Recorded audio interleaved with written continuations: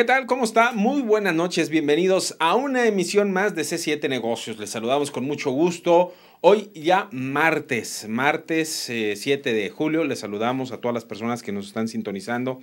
Le damos la más cordial bienvenida y le invitamos a que se quede con nosotros en C7 Negocios. Como es costumbre, hoy tendremos un tema muy interesante. Vamos a platicar sobre las eh, microempresas, la posibilidad de tener nuestro propio negocio, pero ¿por qué tener un negocio propio? Cuáles son algunos de los elementos que debemos de reunir, también cuál es el perfil del empresario y sobre todo cuál es el plan de negocios, conocer cómo iniciar una empresa que de alguna manera nos permita generar riqueza, nos permita tener un mejor entorno social y sobre todo unas mayores posibilidades económicas para nuestra familia y para nuestros empleados. Hoy vamos a platicar sobre este tema, un tema interesante a propósito de que un motivo suficiente para emprender la carrera empresarial sin duda surge con algunos eh, casos por el dominar un oficio, cuando conocemos cómo se produce algún producto, se genera algún producto, contar con una profesión, eh, continuar con una empresa familiar, es decir, cuando ya la heredamos, o hacer crecer un capital identificar una oportunidad de negocios, dejar un patrimonio para los suyos o simple y sencillamente porque se ha visto a otras personas que han tenido éxito.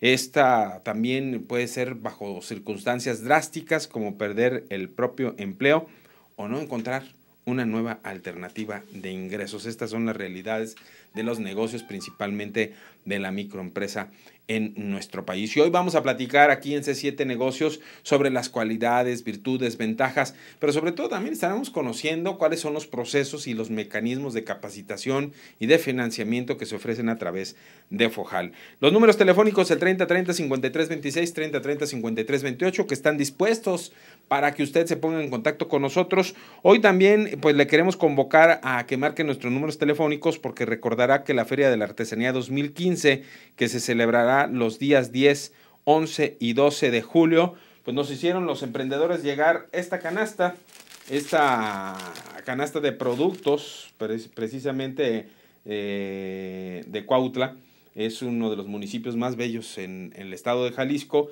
Y bueno, tenemos estos productos que estaremos entregando ya en los próximos días. Ellos eh, están convocando a participar en esta feria de la artesanía. Insisto, a realizarse los días 10, 11 y 12 de julio. También la Casa del Café. Hoy vamos a entregar la, cortesía para que usted, en compañía de algún ser querido, a alguna persona que desee invitar, pues se pueda ir a Jijic, a la Casa del Café y disfrutar de un par de bebidas. Además recibirá por ahí un paquete de café para que se lo pueda llevar a su casa y sobre todo una artesanía de la galería de esta Casa del Café. Y además los productores de macetas de fibra de agave ofrecen artículos decorativos. Ellos se ubican allá en Tonalá. mire, esta es una de las macetas que nos vinieron a mostrar el día de ayer. Son de agave, totalmente biodegradables y que tienen un aprovechamiento directo hacia las plantas. Nos decían, estas macetas se han convertido ya en un polo de oportunidad porque también están generando pues convenios interesantes en materia de comercialización con los herreros. ¿Le interesa? Pues también tenemos este otro paquete. Son propuestas que nos hacen llegar nuestros amigos emprendedores y ayer le prometimos que íbamos a tener más libros para todos aquellos que deseen tener un huerto urbano quienes están pensando en generar un huerto urbano, ya sea para el autoconsumo o, por qué no decirlo, también para el negocio, bueno, tenemos el libro El manejo de suelos y la materia orgánica, libro impreso y también material digital para que usted pueda recibir toda la información. Le interesa con mucho gusto 30 30 53 26, 30 30 53 28. Hoy vamos a entregar la cortesía para que se vaya al café y el libro. Las dos cosas se van el día de hoy. Bueno, vamos a hablar sobre algunos números. El dólar a la compra en 15 pesos con 46 centavos y a la venta en 16 pesos con 6 centavos. El euro, por su parte, está a la compra en 17 pesos con 18 centavos y a la venta en 17 pesos con 58 centavos. La onza plata libertad la compra en 200 pesos y a la venta en 300. La onza oro Libertad se compra en 16.650 pesos y se vende en 18.150 pesos. Por su parte, el centenario se está comprando en 19.800 pesos y se vende en 23.200 pesos. La Bolsa Mexicana de Valores cerró con una ligera alza de 0.50%. El índice de precios y cotizaciones ganó 223.74 enteros respecto al nivel previo, ubicándose en 45.000 017.75 unidades. En el mercado estadounidense, el Dow Jones avanzó con un 0.53%. De igual manera, el Nasdaq incrementó 0.11% y finalmente el selectivo Standard Poor's 500 cerró la jornada con 0.61%. El producto del servicio. ¿Quién será el cliente? ¿Qué área abarca? ¿Cuál será el precio del producto que estaremos ofreciendo? ¿Qué hacer con los competidores? ¿Y qué es lo que hacen los competidores? Son algunas de las herramientas que los emprendedores deben de tomar en cuenta al momento de iniciar una empresa. Es para mí un gusto, como siempre, como todos los martes, recibir eh, el acompañamiento de FOJAL, una institución que apoya, que impulsa de forma directa a los emprendedores. Y en esta ocasión viene César Reyes Orozco, coordinador de promoción de FOJAL, a decirnos pues algunos de los puntos importantes, cómo formar nuestra microempresa con apoyo de FOJAL en este caso. ¿Cómo estás? Buenas noches, César. Buenas noches, Fabián. Eh, buenas noches al auditorio y gracias por la invitación. Bueno, pues el día de hoy con un tema que nos interesa y nos ocupa a todos los emprendedores, César, sabiendo que, bueno, pues una de las principales eh, metas que tenemos al momento de que nos inspiramos en generar un negocio es el de tener clientes, de mejorar nuestra situación económica. Y esta en muchas ocasiones surge porque por ahí eh, se prende un foco, una luz que nos dice podemos ofrecer un servicio, podemos ofrecer un producto, pero en muchas ocasiones también surge por una necesidad. ¿Cuáles son algunos de los elementos que nos llevan precisamente a generar una empresa? Bien, eh, mira, eh, con la experiencia que Fojal tiene y pues con la gran variedad y número de emprendedores que venimos atendiendo, pues hemos visto que el emprender un negocio, mm, vaya, no es una mera casualidad, ¿no? El hecho de decir, bueno, pues quiero poner un negocio y en este momento, este, pues lo podemos implementar, ¿no? Al contrario, el, eh, el poner un negocio es incluso un, un, plan de vida, un plan de carrera que va desde, bueno, desde el momento en que la persona, como bien lo dijiste, Fabián, tiene la necesidad de vaya económica. De generar mayor riqueza. De generar riqueza y quizás tenga ciertas habilidades, cualidades, estudios eh, o experiencia de algún otro negocio, no necesariamente siendo familiar o siendo de él. Es como de esta manera se va configurando eh, pues esa oportunidad que cada emprendedor va detectando en su momento y que deciden hacer de su vida esa vaya esa idea de negocio y a su vez ejecutarla. Oye, perdón César, un plan de negocios que no solo involucra a la persona, en este caso al emprendedor, sino también a quienes les rodean, ya sean los propios vecinos y más aún eh, su propia familia, ¿no?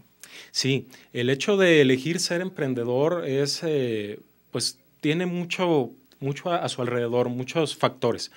Primero, eh, bueno, pues la persona es la propia responsable de que el negocio funcione y genere rentabilidad, eh, que crezca. Segundo, eh, se ocupa de emplear a más personas. Muchas veces eh, son negocios familiares y son, representan ingresos económicos para pues, sostener esa familia.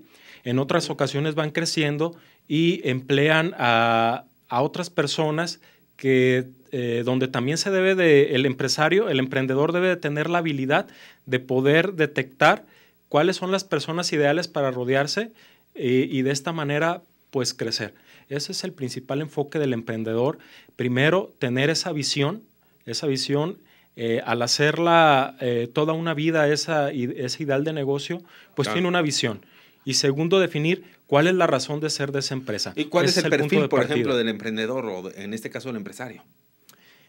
El perfil del empresario, eh, primero, tiene que, es importante tener la experiencia en lo que se va a desarrollar estar bien informado, eh, tener eh, la capacidad de relacionarse es muy importante, tener visión, como ya lo habíamos mencionado, eh, saberse llegar de las personas adecuadas, de expertos, de colaboradores y sobre todo poder detectar esas oportunidades. Una persona entre más va acercándose a la experiencia, más se va involucrando en una actividad económica, puede detectar esas oportunidades y hacerlas vaya, un negocio, hacerlas empresa. Oye, pero no podemos iniciar una empresa sin tener un plan de negocios, que ese es otro de los puntos importantes. Y es aquí, por ejemplo, donde instituciones como Fojal apoyan al emprendedor con orientación, con capacitación y en muchas ocasiones hasta en el armado de este, de este que se puede decir es el documento base de un negocio.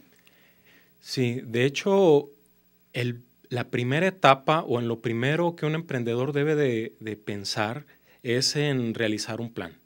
¿sí? Si una persona está interesada en emprender ese negocio, lo primero es describirlo.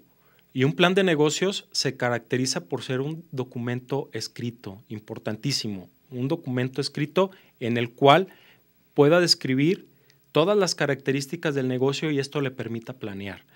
Eh, un plan de negocios viene a ser como un mapa, el cual te va diciendo qué camino seguir, qué riesgos te vas a encontrar en ese camino y qué se debe de hacer en el caso de presentarse alguno de estos riesgos, qué alternativas hay para que el negocio vaya funcionando y tenga esa versatilidad. Ahora, hay que fijarnos cuál es el tipo de producto o servicio que vamos a ofrecer y quién sería nuestro público o nuestro consumidor. Así es. Eh, bueno, ya dentro de la estructura del plan de negocios es donde tenemos que describir la parte estratégica del negocio, ya lo vimos, misión, visión, objetivos a corto y a largo plazo. Un objetivo a corto plazo menor a un año, a largo plazo puede ser más de un año hasta cinco.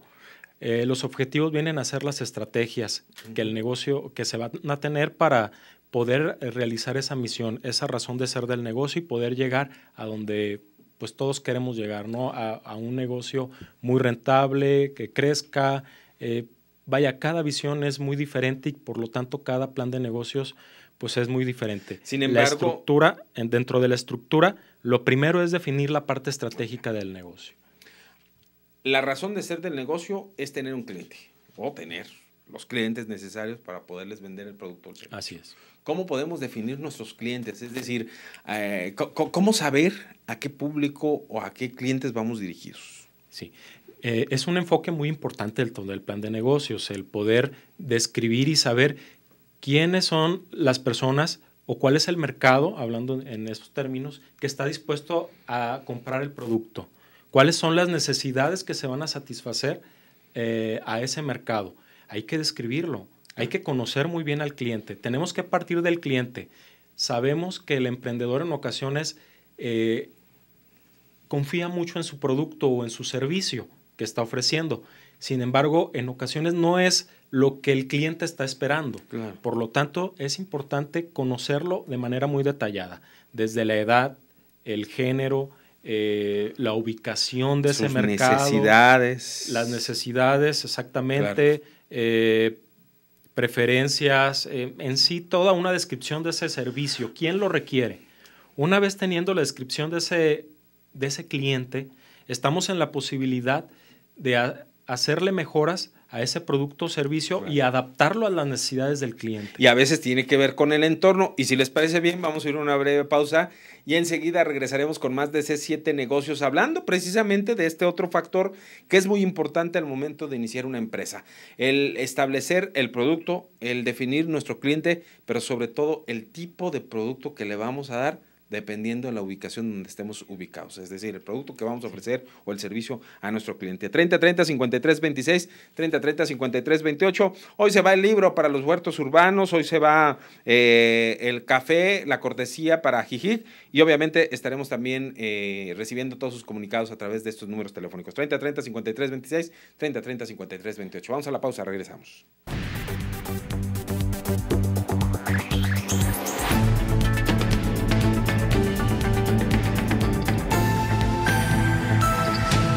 Usted porque continúa con nosotros y marca nuestros números telefónicos el 3030 5326, 3030 5328. Estos números, como siempre, están totalmente a su disposición, recibiendo comentarios, sugerencias, opiniones, puntos de vista. Queremos agradecerle eh, la comunicación a Leticia de la Torre de Zapopan, que participa para la, la canasta. Dice felicidades al programa, muchas gracias. Marta Leticia Rosales de Tabachines participa en la convocatoria. Dice qué bueno el programa, hombre, muchas gracias. Gracias. Nos honra con su atención. Eh, Luz Huerta de la Colonia Lagos de Oriente, también le agradecemos, ya está participando en la convocatoria. Eh, Federico Velasco de la Colonia Mezquitán, don Federico, un gusto haberlo saludado el día de hoy en la mañana, tuve la oportunidad de platicar con él y bueno, pues aquí estamos, aquí estamos, seguimos a la orden con usted. Y sobre todo, pues qué bueno, qué bueno que usted sigue siendo, ha sido televidente de C7 Jalisco. Tengo fe en los negocios, siempre comienzan con altas y bajas, nos dice don Federico, pero siempre se regularizan y felicidades a su servidor, hombre, muchas gracias. Juanita Esparza, ya su puntito de asistencia, se está reportando con nosotros, gracias, ya está participando Juanita. María Estela Nuño Quintero, también le agradecemos el reporte telefónico a Javier Gutiérrez del Salto, a Ofelia Contreras de San Miguel, gracias por los llamados. También le agradecemos el comunicado a Juana Torres, felicidades por el programa, nos dice, a María del Carmen Ureña de Villa de Guadalupe, Dice, felicidades al programa, es uno de los mejores de C7 Jalisco. Hombre, favor que nos hace, muchas gracias. María Elena Rivera de la colonia La Loma, también le agradecemos el reporte telefónico. Bueno, estamos platicando en esta ocasión sobre pues algunos de los elementos que se deben de reunir para poder ser un emprendedor. Hablábamos sobre la definición del cliente, la definición del producto, pero también otro de los aspectos importantes es la definición de la zona donde vamos a ubicar nuestro negocio. Ello nos permite poder tomar decisiones, poder dar esos eh, elementos que debe de incluir el producto o el servicio. Pero que mejor sabe es sin duda nuestro invitado el día de hoy, César Reyes Orozco, coordinador de promoción de Fojal. César, pues, ¿cuáles son los elementos que debemos de tomar en cuenta cuando vamos a establecer ya en un lugar fijo nuestro negocio? Bueno, eh, hay que revisar que esas instalaciones es importante eh, se adecúen eh, pues a la actividad o el giro del negocio. Eso en una primera instancia. Segundo, que el mercado esté disponible, es decir, medir, por ejemplo, las personas, cuántas personas pasan por ese establecimiento eh, o el tráfico vehicular. Todo depende del giro del negocio. También es importante ver las condiciones en las cuales, si el negocio es rentado en este caso, cuáles son las condiciones eh, que va a ofrecer el arrendador y de esta manera eh, verificar si financieramente es lo adecuado, que también es una parte que más adelante vamos a ver de la estructura del plan de negocios. La ubicación pues es básica para poder tener un mayor grado de éxito en el negocio. Ahora, ya que tenemos la ubicación del negocio, ya que definimos nuestro cliente, ya que vimos los elementos que debemos de incluir en nuestro producto o servicio, eh, pues viene algo muy importante. En muchas ocasiones no nos ajusta el recurso económico y tenemos que pensar en una alternativa. Y una de ellas es pues, la definición de la forma en que nos vamos a administrar, pero también existen los apoyos vía financiamiento. ¿Cómo un emprendedor puede encontrar esta necesidad? Porque en muchas ocasiones es de organización, en otras es de la forma en que se realizan los procesos para generar determinado producto o simple y sencillamente la falta de voluntades, es decir, cuando hay empleados que no acuden, que no hay esos roles de jefe, administración, eh, producción, en fin, todas esas eh, situaciones que pudieran ser consideradas como una desorganización. ¿Cómo podemos estos elementos incluirlos y determinar? Pues lo que necesito es dinero. Sí. Bueno, que de hecho es parte del perfil del emprendedor, el hecho de ser capaz de tomar decisiones, decisiones a veces tan, tan eh, inesperadas, ¿verdad? Pero que el negocio tiene que seguir adelante, tiene que seguir en pie y, pues debe seguir teniendo ventas, atendiendo clientes, eh, generando recursos para crecer. Eh, bajo esta premisa, bueno, el emprendedor también debe de tener un perfil en el cual tenga un poco de análisis o un mucho en ocasiones. Eh, ese análisis tiene que ver con eh, qué tanto al momento de, aterrizar ese plan, cuáles son los, los recursos de los cuales se tiene que llegar y cuáles son las fuentes de financiamiento que debe de tener. De hecho, eh, bueno, la mejor etapa para emprender un negocio, hablábamos de una vez que no se tiene empleo, pues hay que buscar y, poner un negocio es una opción. Es un momento de emergencia. es un momento de emergencia. Sin embargo, eh, qué mejor que teniendo un ingreso adicional se vaya formando, se vaya incubando ese negocio y que en un momento dado ya se pueda eh, el emprendedor desprender de ese ingreso en un momento determinado y ya este, llevar a cabo al 100% ese negocio. Eso, eso sería lo ideal.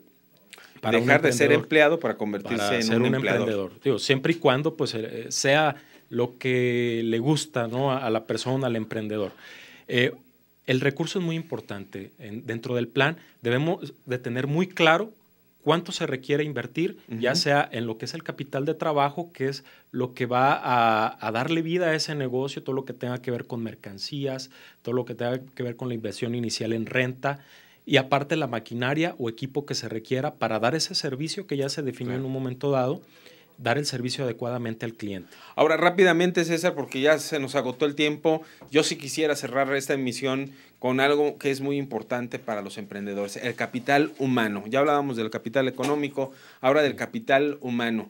¿Qué debemos de tomar en cuenta para mejorar? Por un lado, la situación de los trabajadores, pero por otro también, pues cuando ellos están contentos, cuando el trabajador se siente satisfecho dentro del lugar donde labora, pues produce mejor y genera ganancias a la empresa. Lo primero es, dentro del plan, describir cuáles son los puestos.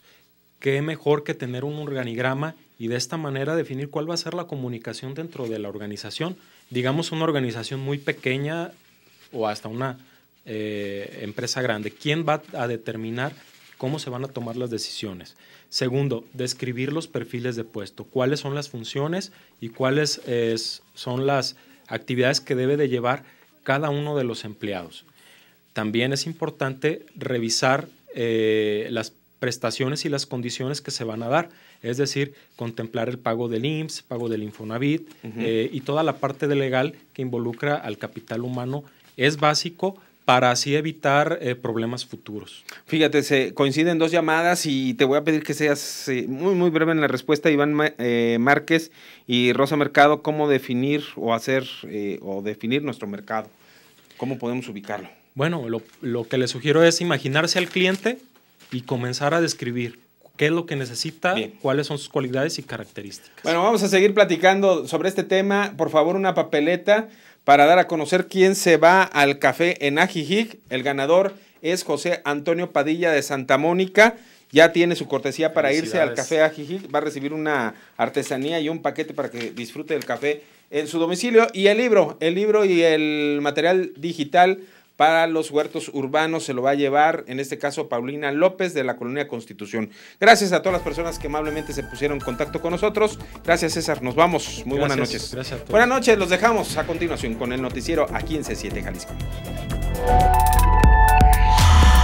Global Standard